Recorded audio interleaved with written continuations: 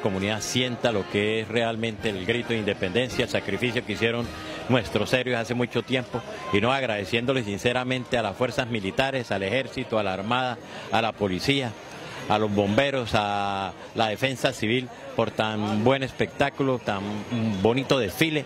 Agradecerle también a las bandas de los diferentes colegios que se presentaron y a la comunidad que se hizo presente en gran cantidad en toda la avenida del ferrocarril. Vemos gran importancia la acogida que ha tenido el desfile militar para toda la población de Barranca y del Magdalena Medio. Esto es un, día de, unidad, un día de fiesta, un día en el que podemos salir en familia, ponernos la camiseta de la selección, sacar la bandera, disfrutar, es un día festivo.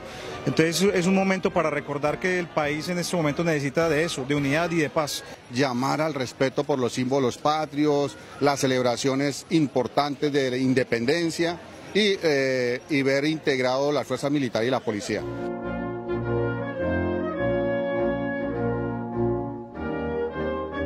Que sí tenemos unas fuerzas militares que nos apoyan y que están pendientes de nosotros. Ah, no, pues bonito, o sea, otra vez que volvamos otra vez a los, al tiempo de antes. Entonces me parece muy, muy chévere.